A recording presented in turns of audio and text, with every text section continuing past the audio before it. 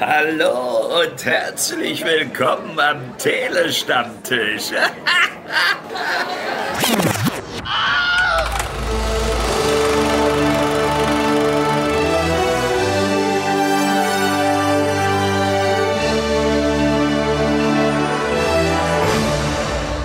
Hallo, willkommen zum Telestammtisch zur Besprechung der Komödie Wo die Lüge hinfällt. Ich bin's du und heute ist mein Partner der Timo. Hallo Timo. Hi. Timo, wir haben eigentlich nicht so viel gemeinsam, wenn man mal ganz ehrlich ist. Nö. Und Wer eigentlich hasse ich dich auch seit dem ersten Mal. Wer bist denn du? Hallo? Wer ist denn das? Ja. Kennen Sie nicht? Ja, ja. Ich möchte, Ja. ich möchte mit Ihnen keine Intimitäten. Wir Sei nicht so kindisch. Sei nicht so kindisch, ja? Bitte. Ah, Wir Pro wo- professionelle wir bisschen- Podcaster. jetzt. Wir wollen es ein bisschen necken und nach anderthalb Stunden sind wir doch zusammen. Ja, ja. Oh, Plus jetzt haben wir, glaube ich, fast schon, äh, wo die Lü- Lüge hinfällt, gespoilert, glaube ich. Ja. wir haben eine Romcom gespoilert. Gibt es eigentlich ein Genre, was man noch weniger spoilern kann als Romcoms? Mm, eine Paw Patrol Folge und ein Porno. Letzteres habe ich schon mal gesehen. Siehst du? Hm? Ich habe auch schon mal Paw Patrol geguckt. Ja, okay. Timo, hast du auch so ein bisschen das Gefühl, dass so richtige Romcoms in den letzten Jahren ein bisschen Mangelware wa- äh, geworden sind? Wenn man, wenn man vergleicht so mit Anfang der 2000er oder 90er Jahre, wo es ja im Jahr Minimum zwei, drei größere Romcoms gab. Ich habe das Gefühl, Mhm. dass die letzte große Hollywood-Romcom Ticket ins Paradies war mit George Clooney und Julia Roberts. Ja, groß ist da auch eine mutige Formulierung oder auch Ja. ein großes Wort, wie ich ja zu sagen pflege. Ähm, wir hatten das lustigerweise gestern so beim Käffchen vorneweg. Das ist äh, neben dem Erotik-Thriller und der Komödie an sich, finde ich so, das ist die drei Genres, die uns abhanden gekommen sind. Durch einerseits Streaming Hm. und andererseits durch wirklich, es sind andere Zeiten und man ist vielleicht, was gerade so Erotik und solche Sachen angeht, so ein bisschen vorsichtiger geworden, würde ich jetzt mal formulieren. Also die Romantikkomödie, wie sie ja auf Deutsch heißen würde, die hatte ja so ihre Hochphase, so ich sag mal so Tom Hanks, Mac Ryan. Mac Ryan ja Mhm. vielleicht auch die Rom-Com-Queen der 90er Jahre. Ja. Und irgendwie ist das halt ausgestorben, das Genre. Es ist, es ist so ähnlich wie der Western, so es ist irgendwie alles erzählt. Es gibt nur noch Varianten. So die letzte richtig tolle Rom-Com, die jetzt auch nicht irgendwie äh, neueren Schlag hatte, sondern noch so altmodisch war, war ja sowas wie Hitch, finde ich. So, aber ansonsten Ja. so Crazy Rich ist Agents, äh, Crazy Rich Asians ist ja schon wieder ein anderer, eine andere Baustelle. Ja. Aber du hast vollkommen recht. Aber wie stehst denn du so zu Romcoms? Also gerade so E-Mail für dich und so. Weiß ich, Schlafs in Seattle ist ja eher eine Romanze als eine, eine Hm. Komödie. Ist das du so ein Kleiner, der sich dann so mit dem Schal in den Kinosessel kuschelt und sich das so ein bisschen anschaut? Oder wie ist das? Ich glaube, vor 20 Jahren hätte ich dir gesagt, so, boah, Romcoms ist das größte Übel der Menschheitsgeschichte. Ähm, jetzt mit gereifterem Alter weiß ich eine gute Romcom auch zu würdigen und zu schätzen. Ich habe letztes Jahr bei dieser Best of Cinema-Reihe Harry und Sally im Kino geguckt. Oh. Und der ist halt wirklich richtig, richtig gut. Mhm. Und ich hätte mir halt wirklich gewünscht, dass jetzt, ich greife vorweg, aber die Lüge hinfällt, ähnlich unterhaltsam und ähnlich gelungen ist. Mhm. Ähm, Spoiler ist er nicht. Mhm. Aber Glenn Powell ist halt auch kein Billy Crystal und Sidney Sweeney ist noch keine Mac Ja. Noch, Ja. wer weiß. Noch, noch. Ne? Also ähm, ich, ich habe nichts gegen das Genre. Es ist definitiv nicht das Genre, für das ich äh, morgens aufstehen würde. Aber es gibt auch wie, beim Western gute und schlechte. Ne? Mhm. Ich hatte gerade einen Gedanken zu dem, was du eingeschmissen hast. Nee, ich wollte fragen, war Harry und Sally in der Best of Cinema-Reihe, war das eine Erstsichtung für dich? Nein. Ich habe Ah, den okay. äh, schon des Öfteren gesehen, aber ich hatte ihn dann äh, längere Zeit Pause gehabt und ich habe ihn tatsächlich mit jemandem gesehen, der ihn noch nicht kannte. Und der Oh. hatte da auch, der hatte wirklich auch eine richtig großartige Zeit. Also der meinte auch wirklich, das war mit die beste Komödie, die er in den letzten Jahren im Kino gesehen hat. Oh, das ist krass. Das ist wirklich eine, ein Statement. Äh, Mal so außer der Reihe, wir haben es nicht vorbereitet. So, so eine, so deine, ist Harry und Sally deine Lieblings-Rom-Com oder deine witzigste, die du am witzigsten findest? Oh, ähm, ich glaube, bei der ist es eine Romcom, aber ich, ich nenne es mal einfach so. Ich glaube, die lustigste Romcom für mich ist Faulkner Mary. Ja, bei mir Und nicht so gut gealtert irgendwie. Frank Drabin, Spezialeinheit. Ich Genau. glaube, vielleicht nicht die beste, aber die, die gerne mal übersehen wird, ist auch mit Billy Crystal Forget Paris. Die mag ich sehr gerne. Also er spielt irgendwie einen NBA-Schiedsrichter, sie ist eine Autorin, glaube ich. Oder Ja. Lehrerin, man weiß es nicht. Lange her, dass ich ihn gesehen habe, aber den empfehle ich immer ganz gerne. Von 95, glaube ich. Ich mochte ganz gerne auch mit Mac Ryan dieser, ähm, ich weiß den deutschen Titel nicht mehr, Addicted to Love, wo sie mit Matthew Broderick versucht, Ja. ihre Ex-Partner irgendwie gegeneinander auszuspielen. Den fand ich auch ganz amüsant. Ja. In Sachen Liebe, glaube ich. Auch Ja, genau, in Sachen Liebe war es, ja. Aber ähm, tatsächlich, äh, Romcoms, es gibt wirklich viele gute und ich verbinde ja mit einer Romcom auch nicht unbedingt so ein richtiges Lachfest, aber so, dass man sich wohlfühlt, dass man ähm, ja sich auch um die Figuren kümmert, die man da zu sehen bekommt und dass man einfach eine kurzweilige, schöne, gute Zeit hat und dass man mit so einem, ja, mit so einem guten Gefühl das Kino verlässt. Das ist für mich eine gute Romcom. Ich würde noch ergänzen, dass die Romcoms, die so ein bisschen den Fokus auf das Komödienhafte oder das Komödiantische legen, Mhm. dass die noch über so skurrile Over-the-Top-Nebenfiguren funktionieren. Ich nehme mal als Beispiel Notting Hill, äh, Reese Ifans, ich weiß gar nicht, wie er im, als heißt er Spike. Spencer? Spike. Spike, ja. Spike ist halt die Granate im Film. Der hat halt richtig witzige Szenen und ist immer, wenn er auf der Bildfläche ist, ist es ein Kracher. Und äh, das ist irgendwie den äh, Romcoms, die haben dann manchmal so wie auch No Hard Feelings, haben die zwar ihr R-Rating, Mhm. aber irgendwie fehlt da so diese, dieses Drübersein. Also ich glaube, das letzte, was ich da so richtig gut fand, war, wa- oder waren Bra ist, äh, Brautalarm ist eigentlich auch keine Rom-Com, oder? Nee, nicht wirklich. Ähm, Nee, ne? Ich bin auch kein Fan von Brautalarm, muss ich auch sagen. Aber ich verstehe schon, warum so erfolgreich war. Aber bei mir hat er nicht so Anklang gefunden. Ähm, aber du hast gerade was Schönes gesagt, und zwar R-Rated-Komödie. Mhm. Ich finde ja, dass äh, wo die Lüge hinfällt, der ja drei Wochen vom Do Deutschlandstart schon in Amerika, gestartet ist, dass der da tatsächlich mehr auch als R-Rated Comedy vermarktet worden ist, als wirklich als klassische Rom-Com. Und Mhm. das ist ganz ulkig, weil R-Rated heißt ja im Groben gesagt, dass in den USA, wenn du unter 17 Jahre alt bist, kannst du nur mit einem Erwachsenen in den Film rein.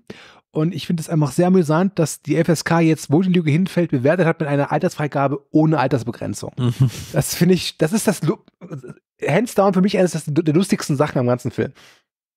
Wenn Und wir das jetzt ergründen, äh, weiß ich nicht, ob das. Wobei wir könnten so vielleicht einige Herren in die Kinoseele locken, Hm. könnte ich mir vorstellen. Andererseits wäre es vielleicht ein milder Spoiler. Es gibt Titten. Sagen Ja. wir es, sagen wir es, Ja. wie es ist. Es Ja. gibt Titten. Jetzt habe ich es gesagt. Penis. Und ein Penis. Das ist der Grund, warum er in den USA ein R-Rated hat und vermutlich auch, vielleicht wird ein oder andere Mal das böse F-Wort gesagt, das kann auch sein. Wir beide Mhm. haben ihn jetzt nur in der Synchro gesehen und ich muss sagen, die war auch eher züchtig. Ja, und ich habe Glenn Powell zum allerersten Mal synchronisiert gehört und ich habe schon jetzt vergessen, welche Stimme er hat, aber ich dachte, boah, passt gar nicht. Hm, ja. Aber pff, gut, sei es drum. Wir haben Soll ich- hier sieben Minuten lang um einen heißen Brei geredet, nämlich um Romcoms und über Synchro und über Titten und Penisse, und aber noch gar nicht so richtig so viel über den Film an sich. Und äh, für Woran alle, das nur? ja, an alle Zuhörer, Zuhörerinnen, die noch weiter am Ball geblieben sind, vielen Dank für euer Vertrauen und wir werden es äh, jetzt honorieren und zwar indem Timo euch erzählt, worum es überhaupt in diesem Film geht, der, wo die Lüge hinfällt heißt. Ja, der auch wirklich ganz charmant anfängt. Vielleicht ein bisschen zu charmant, aber es äh, begegnen sich die wirklich äh, schöne äh, Bay, Bay, wie heißt sie? Bay?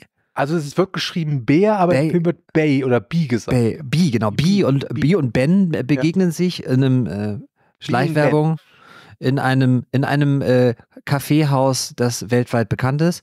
Und sie muss pipi und er hilft ihr aus der Patsche, weil er sich als ihr Ehemann ausgibt. Und so ist das ein ganz nettes Geplänkel. Da gibt es schon eine erste Szene, die vermeintlich lustig sein soll, die ist aber für mich nicht wahr. Aber es ist so, das hat man so ein bisschen das Gefühl, die Chemie unter den Figuren äh, scheint irgendwie zu stimmen. Die haben ihr erstes Date, es knistert, es gibt eine Übernachtung ohne Beckenkontakt. Und dann ist irgendwie plötzlich schon gleich die Luft raus durch verschiedene Umstände, die wir hier vielleicht nicht erörtern. Das heißt, so diese Bilderbuchromanze es fällt erstmal aus. Aber wie es das Schicksal so will, beide begegnen sich wieder, nämlich ein halbes Jahr später in einer Bar und wenig später bei einer Reise nach Australien. Denn die Schwester von Bee heiratet ihre Freundin oder Lebensgefährtin und der gute Ben ist äh, von der Freundin der oder von der zukünftigen Braut von Bees Schwester ist er ein, ich habe es richtig verstanden, ein Freund gewesen. Und so sind also zwei Gäste auf einer Hochzeit in Australien vor einer traumhaft schönen, bildschönen Kulisse. Und es droht so ein bisschen, dass sie die gute Stimmung ruinieren. Und deswegen gibt es so ein bisschen die Möglichkeit, dass die Hochzeitsgesellschaft versucht, diese beiden zu verkuppeln oder auch wieder so ein bisschen sich annähern zu lassen. Währenddessen tritt auch noch ein Ex-Freund auf die Bildfläche und eine Ex-Freundin und es entspinnt sich so ein, ja, so ein Shakespeare-haftes Geplänkel und äh, dann ist der Film irgendwann vorbei und man sagt sich, ja, wir Hm. gehen nach Hause. Natürlich hast du dieses Bezeichnung Shakespearehaft nicht einfach so benutzt, denn wir Hm. beiden Vollprofis, uns ist natürlich sofort nach drei Minuten aufgefallen, Moment mal, das ist doch eigentlich quasi wie viel Lärm um nichts. Ein Shakespeare-Stück, was ja, glaube ich, schon mehrfach verfilmt worden ist, auch einmal von Josh Whedon und einmal auch von oder mit Kenneth Brenner. Gut, der macht ja alles mit Shakespeare. Ähm, und ja, es ist eine quasi Shakespeare-Verfilmung, wenn man es nett ausdrücken möchte. Was euch das jetzt bringt, das dürft ihr entscheiden. Der, dem Film ist es anscheinend sehr wichtig, weil er ja so Zwischenkapitel immer wieder so Kommentare oder Auszüge aus diesem Stück halt eben äh, darlegt, aber wirklich viel gebracht hat es jetzt nicht. Ja, und ich muss auch sagen, ich war jetzt derjenige, der auch den Kinosaal einmal reingebrüllt hat, halt, stopp. Da hat dann darum gebeten, dass die Filmrolle angehalten wird Mhm. und dass man bitte einmal bitte würdigt, dass das eine Shakespeare-Adaption sein soll, damit das alle auch wissen. Da könnt ihr angeben auf dem Schulhof oder in der Uni, bei der Mensa oder wo auch immer ihr uns hört und so und sagen, ja, das ist ja eine Shakespeare-Adaption. Sie ist ungefähr so frei und so eng dran wie sowas wie zehn Dinge, die, die ich an dir hasse. Also die Grundkonstellation ist die gleiche, der Rest ist so sehr, sehr frei, muss man sagen. Ja, das, das, das, das stimmt schon. Gut, also vielen Dank erstmal für die Beschreibung des Films. Ähm, wo fangen wir an? Fangen wir mal an mit dem mit der Chemie, denn eine gute Mhm. Romcom braucht natürlich eine gute Chemie, äh, nicht nur wie ich finde zwischen den äh, Liebenden oder den sich bald hoffentlich Liebenden, sondern auch zwischen den anderen Figuren. Und da äh, habe ich schon im Vorfeld gesehen, gehen die Meinungen relativ auseinander. Die einen sagen, dass äh, Glenn Powell und Sidney Sweeney eine durchaus schöne Chemie miteinander haben. Ich hingegen fand diese Chemie, sie war zweckmäßig, sie war schon vorhanden, aber eher zweckmäßig. Und es war keine Chemie, in die mich irgendwie ja mitgerissen hat. Ich fand das wirklich sehr, ja, ich wiederhole mich zweckmäßig. Mm, ja. Bin da aber le leider, weil es für eine Romcom eigentlich fast schon der Todesstoß ist bei dir. Ich finde, die haben so eine Oberflächenchemie. Die sind ja, genau. Mhm. rein optisch sind das zwei schön anzusehende Menschen, die sind dann auch noch in schöner Kulisse drapiert und die machen dann, das habe ich auch bei Letterbox wirklich so formuliert, weil ich das so finde, die machen auf Romantik. Also das ist so, wir geben vor, es ist jetzt alles ganz romantisch. Dafür ist dann Manchmal ist das Ganze zu albern, finde ich. Und wenn es albern ist, könnte es gut und witzig sein, weil es dann sein R-Rating auch, ich glaube, so ein bisschen ausnutzt. Also es gibt zumindest eine Szene, wo sich an den Allerwertesten gegriffen wird und das vielleicht eher so nicht PG-13 äh, wäre. Aber beim Rest denk, dachte ich immer so, ihr wollt eigentlich, ihr wollt quasi diese, nicht diese Whole 10 Yards oder ein Whole 9, ihr wollt also nicht ganz bis zum Ende das durchmachen mit diesem edgigen R-Rating, sondern zwischendurch wollt ihr auch immer so, so cheesy, also wirklich so richtig kitschig sein. Und beides zusammen hat für mich in der Mischung nicht funktioniert und das lag nicht nur daran, aber auch daran, dass ich diesen beiden ihre Momente nicht so abgekauft habe. Also es war so irgendwie, ich hatte das Gefühl, dass das Story-Konstrukt auch so ein bisschen da reingrätscht, dass die beiden ihre, dass die beiden eine Chemie entwickeln sollen, die irgendwie gar nicht da ist. Ja, ging mir auch so. Also ich fand, optisch passten sie halt einfach. Du hast einfach den Sonny Boy und die attraktive Jurastudentin, ja, also einmal das Sixpack und einmal die perfekte Bikini-Figur. Mhm. Aber wenn sie halt so miteinander reden, wenn sie auch so sich so gegenseitig so anfrötzeln, da, da fliegen halt keine Funken. Da, das war einfach so, ja, wie man schon sagt, man hörte die Drehbuchseiten dann knistern. Und das ist sehr schade, denn ähm, beide sind meines Erachtens sehr gute Darsteller. Glenn Powell war bislang, ja, glaube ich, die größte Rolle war bei Matt, äh, Maverick, Top Gun 2. Mhm. Ähm, und ich hatte das große Vergnügen, ihn jetzt äh, sehen zu können in Hitman, den neuen Richard Linklater-Film, der irgendwann dieses Jahr auf Netflix kommen soll. Und da ist schon mal eine Empfehlung, guckt euch den unbedingt an. Der Mann ist in diesem Film so gut und der ist da so amüsant und so charismatisch. Aber hier ist er halt einfach, genau wie Sidney Sweeney, im Prinzip darauf reduziert, sehe halt gut aus. Punkt. Und das ist mir dann auch zu wenig. Wenn ihr jetzt, äh, wenn im Schnitt jetzt du rausgeschnitten hat, dass ihr auf den Tisch gehauen habt, dann hat er gut gearbeitet, denn ich ärgere mich tatsächlich, dass ich diesen Hitman noch nicht gesehen konnte, denn ich mag Glenn Powell seit Top Gun Maverick sehr gerne, auch wenn er da jetzt eher so den, den Prollangeber gemimt hat, aber das passt irgendwie zu ihm. Das ist halt ein sehr, sehr fitter Mensch, das wird ja auch in diversen Szenen ein bisschen zu sehr zur Schau gestellt, finde ich. Ja. Sogar fast ein bisschen mehr als bei Sidney Sweeney. Ähm, aber der ist so ein grundlegend sympathischer Charakter finde ich so. Also im Film kommt das dann nicht so ganz rüber, weil er auch irgendwie für mich nicht genug Fleisch kriegt. Ich habe dich im Vorgespräch schon gefragt, so, was macht er eigentlich beruflich? So ganz klar wird's nicht. Es, bei ihm zu Hause sind so ein paar Computer und da laufen irgendwelche Excel-Tabellen und Aktienkurse. Aber so richtig klar, was er so macht, ist nie so ein paar, er kriegt so Charaktereigenschaften, so zum, so, so klar, so, so wie Streusel auf dem Donut. So, hier ist ein bisschen was und hier sind ein paar Brotkrümel und der Rest muss reichen. Und bei ihr ist das eigentlich auch genauso. Das, ja. das ist so das, wo der Film für mich fast am, am, am eklatantesten offenbart, dass ihm daran doch gar nicht so sehr gelingen ist, sondern dass er halt sagt: so, hier ist eine Rom-Com, das sind die Formeln, die wenden wir an, fertig, kauft es. Ja. Eine andere Sache, die so eine Rom-Com auch immer braucht, ist, es wird im Namen Rom und Com, nämlich die Com, die Komödie. Und äh, da finde ich auch, dass der Film auch nicht wirklich abliefert.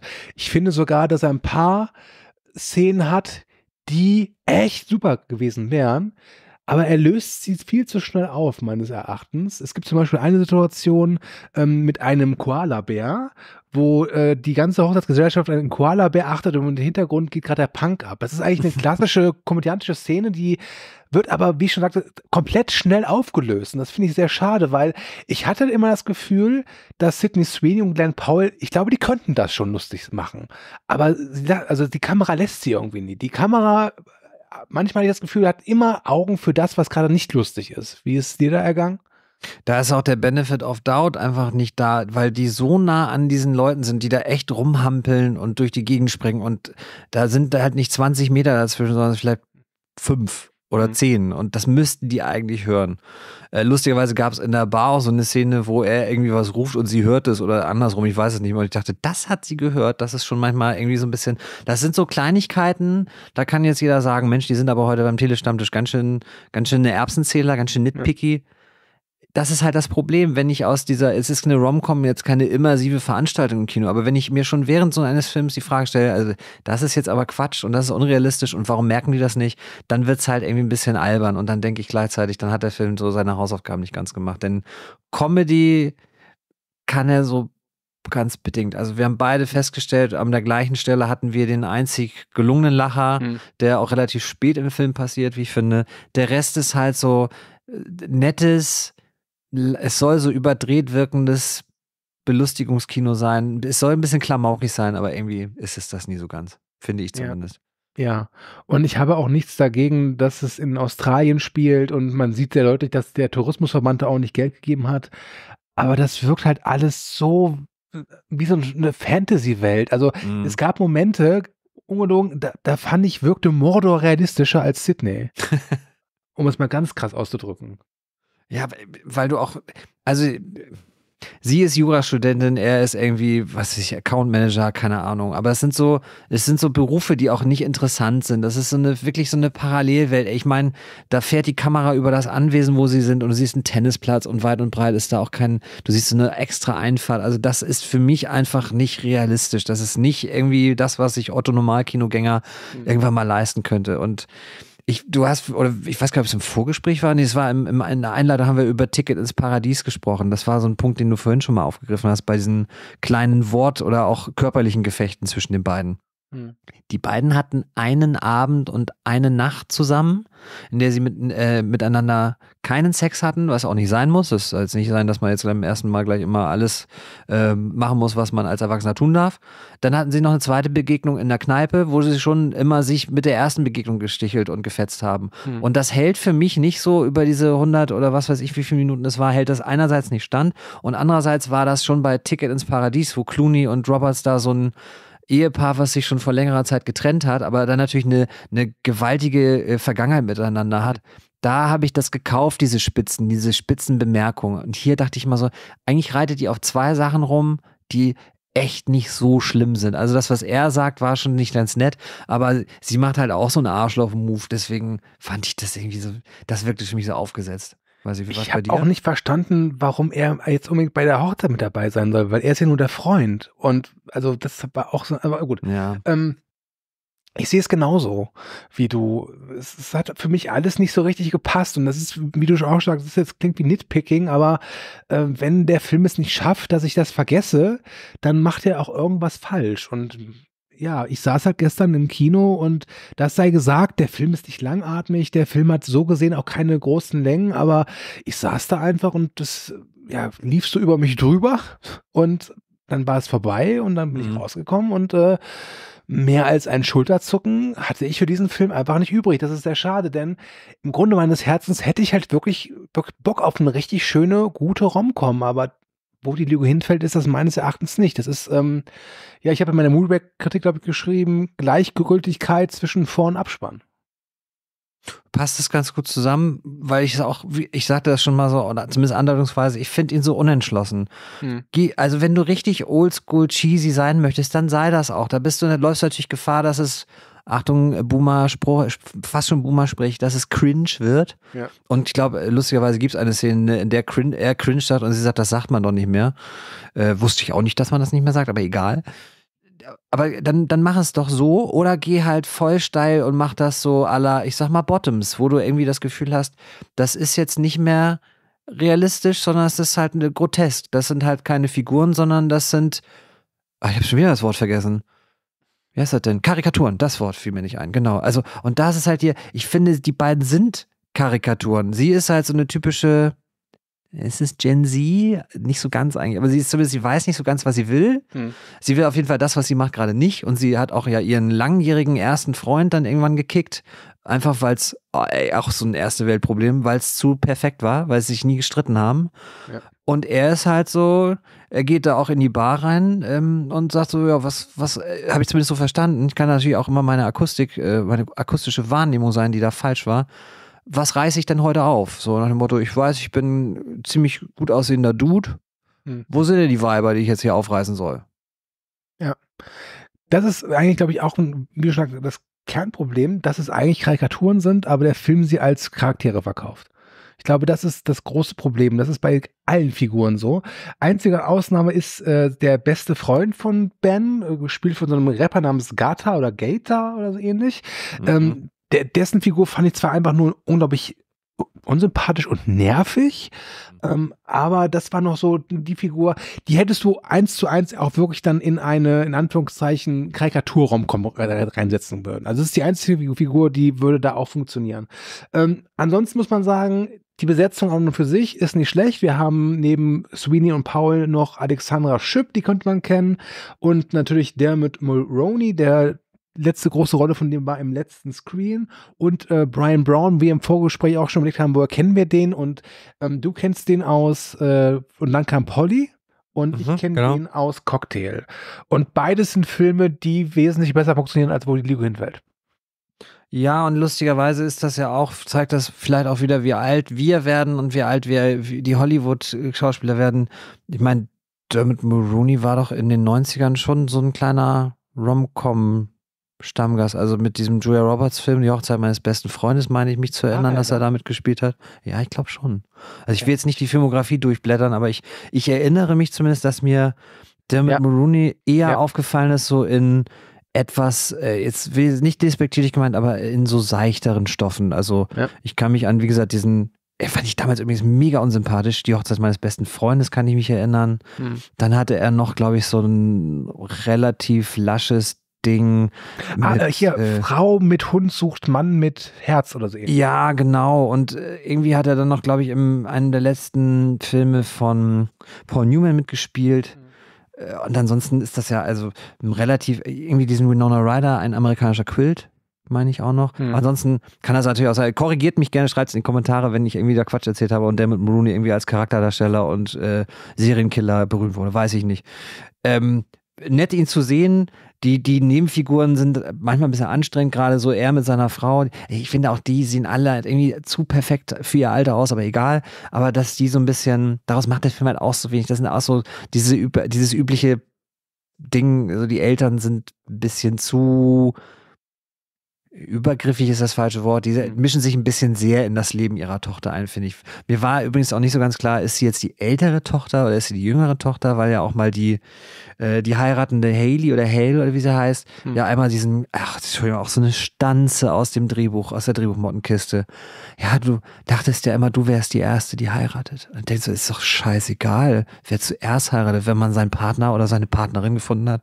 Ist doch super wenn man das Bedürfnis hat zu heiraten, ist doch super. Wenn man irgendwann mal heiratet, ist doch wirklich egal, ob man zuerst oder zuletzt heiratet. Oder? Ja, oder bin ich, da, bin ich da falsch? Nein, nein, da gebe ich dir vollkommen recht. Was ich auch schade finde, ich finde, der Film ist auch sehr langweilig inszeniert. Also das Einzige, wo man so ein bisschen Kreativität drin ist, sind diese Zwischentitel mit diesen Shakespeare-Zitaten. Aber ansonsten, also ich erwarte jetzt hier jetzt kein Everything Everywhere All at Once. Ähm, aber zum Beispiel der Regisseur, der Will Gluck, der hat äh, unter anderem 2009, 2010 mit Emma Stone einfach zu haben gedreht. Das war ein sehr schöner, auch romantischer Teenager-Film. Ähm, aber irgendwie danach, ich habe Annie hat er gemacht, die beiden Peter Hase-Filme, die ich nicht gesehen habe, und wo die Lüge hinfällt, der wirkt auch, obwohl Willy Glück auch das Drehbuch geschrieben hat, äh, wie mehr so eine Auftragsarbeit. Mhm. Ich finde da nichts dran, wo ich sage, da erkenne ich jetzt eine Handschrift oder da erkenne ich, dass jemand sich wirklich richtige Gedanken gemacht hat und irgendwie was abliefern möchte, was außerhalb der Norm stattfindet. Es ist ein sehr, ja, standardisierter oder vielleicht sogar stagnierender Film. Ja, ich finde, die zwei hervorstechendsten Eigenschaften dieses Films, die ich zumindest ausgemacht habe, sind die von dir schon genannten Kapiteleinblendungen mit Shakespeare-Zitaten oder, oder ich weiß gar nicht, was es war. Wirkte mir für mich, also ich kann das auch allgemein nicht mehr sehen, diese Kapiteleinteilung in Filmen. Das wird mir echt, das ist mir zu inflationär momentan in Hollywood benutzt, aber das sollte vielleicht so die eine Reminiszenz schlechthin sein für Shakespeare das zweite, was mir wirklich aufgefallen ist, und das eher so ein, weiß gar nicht, ob es ein Fun-Fact ist, wer hat in diesem Film die Kostüme gemacht? Die Damen tragen alle zu klein, also wirklich, die, die Bikinis sind zu klein. Das ist, das sieht nicht schön aus. Also, äh, ich will jetzt nicht sagen, da quillt alles raus, weil es soll kein Bodyshaming sein, aber es sind, es sind definitiv zu kleine Bikinis. Und ich habe mich gefragt, was soll das? Also ist das so wie Scarlett Johansson als äh, Black Widow einmal inszeniert wurde, dass da so eine Kamerafahrt nur auf ihrem Arsch war? Dann ist es halt so, so was Lüsternes, was mir irgendwie in meinem Alter nicht mehr so viel gibt. Oder ist es tatsächlich einfach, ja, wir haben keinen anderen Bikinis gefunden, sorry. Tut mir leid, Mädels müsst ihr anziehen. Weil gerade die, die eine Figur, die. Margaret. Hm. Genau, die, die Ex-Freundin von ja. ihm, also von, von Ben, das ist ja, das ist ja, das ist ja schon, ich weiß nicht, ob das, ich wusste nicht, ob es ein Gag war, sein sollte. Dass die ja. wirklich, ich habe auch kurz gesagt, der ist falsch rum. Das kann auch irgendwie nicht sein. Also und dann weiß, es, geht so in Richtung Borat, ja, ja. ne?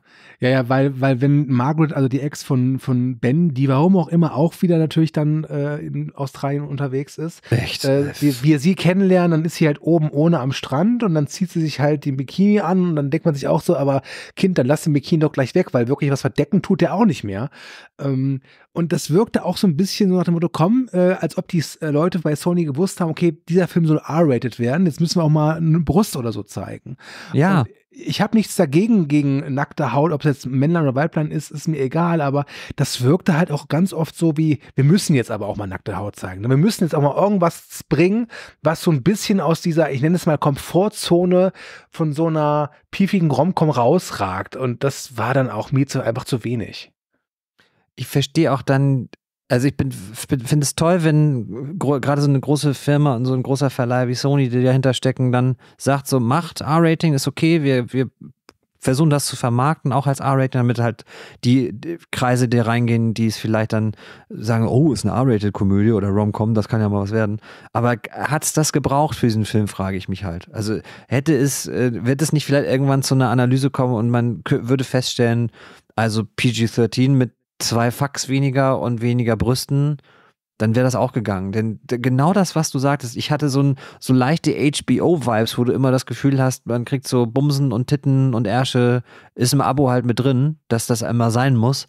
Hier brauchst du es ja gar nicht. Also, dass da auf einmal diese, diese Ex-Freundin in der Küche steht und ich weiß nicht, ob ich mich verguckt habe, aber die stand da halt in der Bluse ohne BH. Hm. Und ich meine auch die Brüste gesehen zu haben. Und ich dachte mir, warum steht die da so? Also es ist, der, der heißt ja nicht Ex-Freund ohne Grund. Das ist halt nicht mehr ihr Freund und irgendwie auch so diese sexuelle Spannung, die sie da immer ausstrahlt, habe ich auch nicht kapiert, weil das, ja. was sie mit ihrem Teilzeitfreund da jetzt da gerade hat, war ja anscheinend wirklich so ein sowas, so eine Bumsgeschichte. Also, dass die da nur eigentlich sich zum Vögeln quasi zusammengetan haben. Und dann verstehe ich dann nicht, dass man da irgendwie bei einer Kaffeemaschine fast ohne Bekleidung oder ohne Oberkleidung zu sehen ist. Ja. Nee, also irgendwie für mich am Ende ich habe zweieinhalb von fünf gegeben. Ich glaube, du warst ein bisschen, ein bisschen strenger. Ja. Ähm, kann man machen, ist, ich weiß gar nicht, ob es ein guter Film fürs erste Date ist, weil ich weiß auch gar nicht, ob das noch in Mode ist, dass man heutzutage mit seiner Freundin, äh, zukünftigen Freundin, mit seiner Frau, mit seiner Verlobten, was auch immer, mit seinem Verlobten, mit ihrer Verlobten, du weißt, was ich meine. Ob man da ins Kino geht, ich weiß es Mhm. nicht. Ich wüsste nicht, ob ich jetzt dann nicht lieber sagen würde, weißt du was, lass uns lieber Harry and Sally oder Forget Paris einschieben und zu Hause bleiben. Ich müsste jetzt dafür nicht unbedingt ins Kino. Und würde es auch nicht empfehlen, ins Kino zu müssen. Wartet Nee. ein paar Monate, dann kommt er über Netflix. Ja, also das sollte nochmal gesagt sein. Sony hat mit Netflix einen Exklusivdeal abgeschlossen, schon vor einiger Zeit. Das heißt, wenn der Film dann irgendwann mal auf DVD rausgekommen ist, wird er wenig später dann auch auf Netflix landen, wie jetzt zum Beispiel auch jetzt äh, No Hard Feelings, der glaube ich im Mhm. Dezember auch bei Netflix äh, dann gestartet ist. Das heißt, ihr werdet, wo die Lüge hinfällt, der am 19. Januar startet, ich werde mal schätzen, spätestens Juni, Juli wahrscheinlich auf Netflix wiederfinden. Und vielleicht passt dann auch ganz gut, weil es ist auch mehr so ein Sommerfilm statt ein Winterfilm. Ähm, aber er gehört, also auf Netflix würde ich sagen, gehört er eher hin als ins Kino, weil der bietet einfach wirklich nichts. Also wie gesagt, äh, ich glaube, wir haben jetzt ja festgestellt, weder ich noch Timo äh, sind Romcom-Hasser, aber äh, wo die Liga hinfällt, das war nicht unser Ding. Nee. Timo, hast du noch irgendwas, was du loswerden möchtest, zu wo die Liga hinfällt? Nö, so, wo die Lüge hinfällt, nix. Ich hoffe halt, dass, also bei aller äh, Kritik, die wir jetzt über diese Romcom geäußert haben, bitte lasst das Genre nicht komplett aussterben. Wenn es nämlich gut gemacht ist und lustig ist, sehe ich sowas trotz allem immer gerne. Hm. Deswegen, äh, aufgrund der Vielfältigkeit wäre sowas auch schön. Und dann auch wieder, ne, wir haben jetzt gemeckert, dass er ins Kino kommt. Natürlich ist es trotzdem schön, dass wir jetzt nicht irgendwie komplett Erbe gerade im Kino haben. Ja. Eine Frage hätte ich noch zum Schluss. Ja. Ähm, das möchte ich jetzt einfach privat von dir wissen. Was war denn der erste Kinofilm, den du mit deiner Frau geguckt hast? Äh, da waren wir aber nicht verheiratet. Das darf ich, ähm, das war, jetzt, jetzt werden alle es wissen, scheiße, da redet ein Cineast. Es war Panic Room von David Fincher. Ach ja. Es war äh, was äh, total Romantisches. Äh, Jodie Foster spielt eine frisch geschiedene, von einem irgendwie äh, Millionär geschiedene Ehefrau und zieht mit Kristen Stewart in eine New Yorker Upper East Side irgendwie äh, Stadthausvilla. Äh, und es wird ein bisschen blutig und so weiter. Ihr kennt Panic Room wahrscheinlich, wenn ihr uns hört. Ich war, das war unser erstes Date. Ja. Da merkt man einfach, du bist Romantiker durch und durch. Total. Bevor ich hier einen Shitstorm kassiere, machen wir diesen Podcast jetzt zu Ende. Aber wir müssen noch ein paar Sachen droppen. Genau. Ich habe hab keine Bücher über Kindererziehung und auch keine Comics. Wichtig? Oh ja, das stimmt. Du bist nicht Schlogger, aber du bist äh, Timo, du bist im Internet unterwegs als der Videothek. Dich findet man unter anderem bei Instagram und bei Instagram hast du auch so einen richtig geilen Linktree, der, das, der führt dann zu all den Sachen, die du machst. Du warst jetzt schon zum dritten Mal bei Kino Plus, ne, zu, zu Besuch. Ja, der Telestammtisch hat äh, die, das Kino Plus Format letzte Woche ein bisschen unter seine. Ja. Ja, eigentlich waren wir einfach nur zu Gast. Aber darf Man würde gerne sagen, das sein? war die Invasion, aber wir waren einfach nur zu Gast. Du, du hattest aber da ein großes Problem und zwar nicht, dass Schlogger mit dir da war, sondern der Pullover von Schlogger. Der hat euch wirklich allen die Show gestohlen. Sei mir nicht böse, aber. Ey, ohne Scheiß. Äh, Es haben mir eigentlich alle Klamotten die Show gestohlen. Äh, Schröck hatte einen wahnsinnig geilen, ich weiß gar nicht, ob man das bei YouTube gesehen hat, es war ein wahnsinnig geiler Godzilla Minus One Pulli. Schlogger hatte ihren geilen Pulli an und dann sitzt da halt der Dude mit einer Cappy und einem Hoodie drin und du denkst, was, was macht der denn da? Ich, denk, ich denke, Fernsehen und Internet ist für schöne Menschen. Und Antje Westel saß noch da verkleidet als Fräulein Rottenmeier. Das war. Ich, das lasse ich jetzt so stehen. Ja. okay. Ihr Lieben, vielen Dank, dass ihr uns zugehört habt. Wie gesagt, Liga hinfällt, ab dem oder seit dem 19. Januar 2024 im Kino und später dann auf Netflix. Denkt dran, uns gibt es überall, wo es Likes und Podcasts gibt. Außerdem haben wir eine eigene Webseite www.tele-stammtisch.de. Damit bin ich hier durch. Ich wünsche euch viel Spaß, bei egal was ihr auch macht. Tut nur bitte den anderen Leuten nicht weh. Ich sage Tschüss und dann ist, ja, Timo, dann bist du dran. Tschüss. Tschüss. Sehr geehrte Damen und Herren, wertes Publikum, liebe Hörende, vielen Dank für eure Aufmerksamkeit und Zeit. Ich hoffe sehr, euch hat gefallen, was ihr gerade gehört habt. Wir, die Redaktion des Telestammtisch, betreiben ein semi-professionelles Podcast-Projekt zum Selbstmitmachen. Also meldet euch bei uns, wir beißen auf. Außerdem freuen wir uns immer über Feedback via Social Media und E-Mail sowie euren finanziellen Support. Ebenso frohlocken wir förmlich über Bewertungen auf den gängigen Podcast-Plattformen. Wer möchte, darf uns gern immer und überall empfehlen. Alle relevanten Links findet ihr in den Show Notes. Vielen Dank und bis zum nächsten Mal. Euer Andi.